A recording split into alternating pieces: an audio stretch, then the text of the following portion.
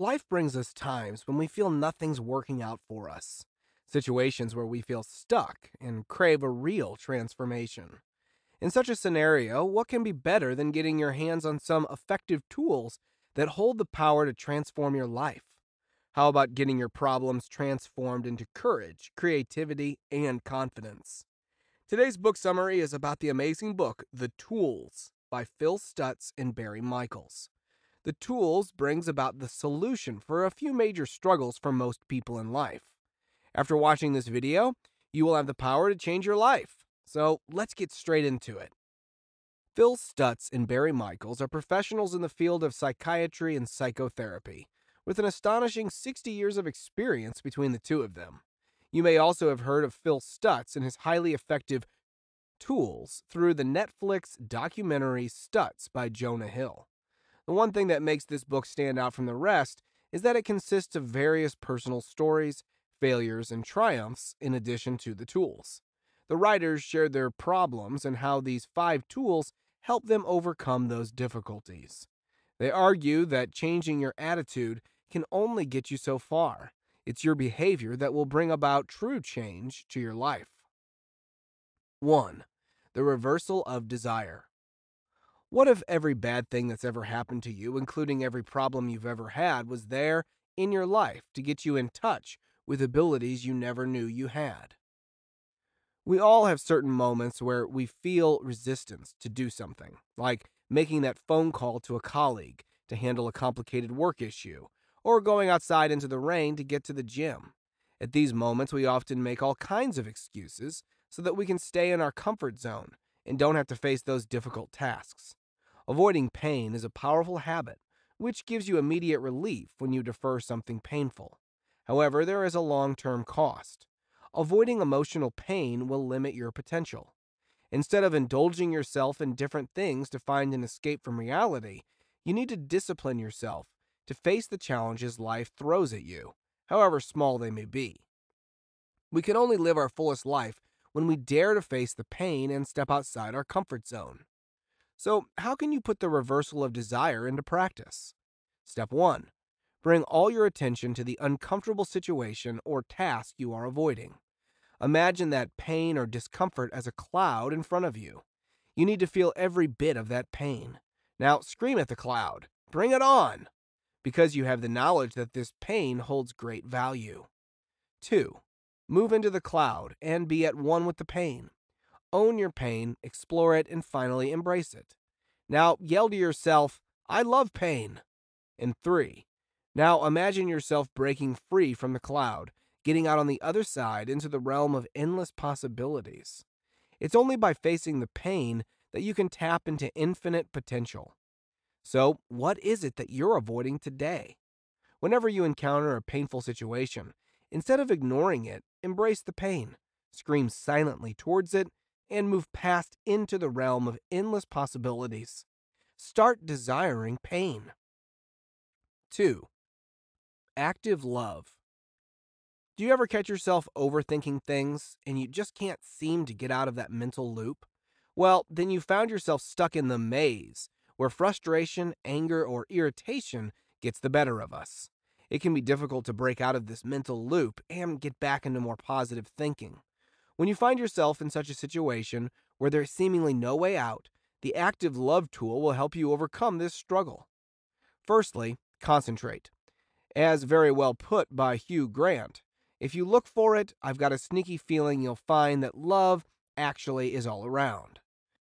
If you observe, the world around is full of love. You can carry all that love inside you. But for that, it needs a little expansion. Bring all your attention to your heart and open it to the infinite love around you. Imagine your whole heart being filled with love. Secondly, transmit. Transmitting love is as important as receiving it. Hold a person or situation in mind you're feeling frustration or anger towards. Express your love and affection to this person or situation. Beam all of the love in your heart towards it. And finally, penetrate. Sense the love you are giving away and feel it entering into the other person. Feeling the love go through the other person gives a great level of satisfaction. This will make your mind at ease and dissolve all the negative feelings you experienced before. So, in a state of anger or frustration, don't indulge yourself in overthinking and waste your mental energy. Instead, go ahead and concentrate on the love surrounding you. Transmit the love to another person and feel the sensation of sending love to that person. 3. Inner authority. We all have moments where we feel anxious and unsure of ourselves. Maybe you feel like that when you have to do a work presentation in front of all your colleagues, or when you're having a job interview. Wouldn't it be great to find a solution to this? To get rid of these feelings of insecurity? Well, with the next tool, you can.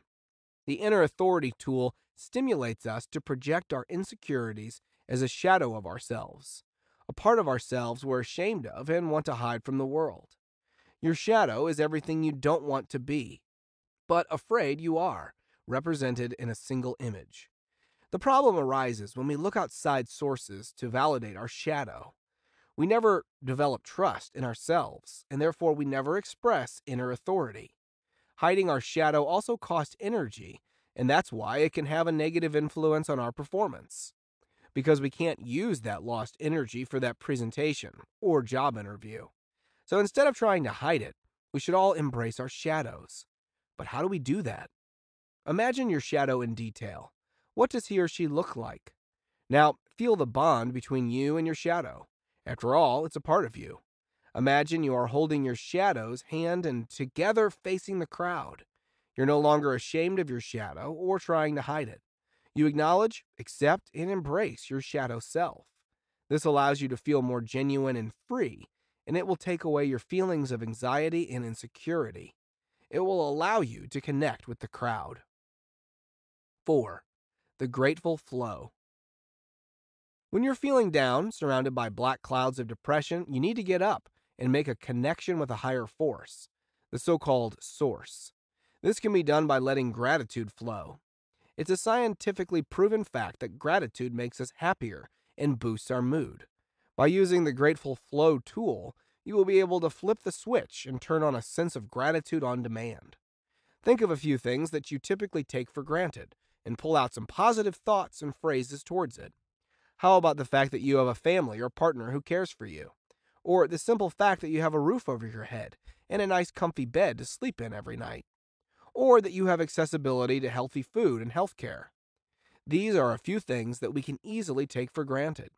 But by actively naming them and sending gratitude towards them, we remind ourselves of all the blessings and positive things in our lives. So, whenever you feel surrounded by darkness and there doesn't seem to be any ray of light, get up and connect to the source.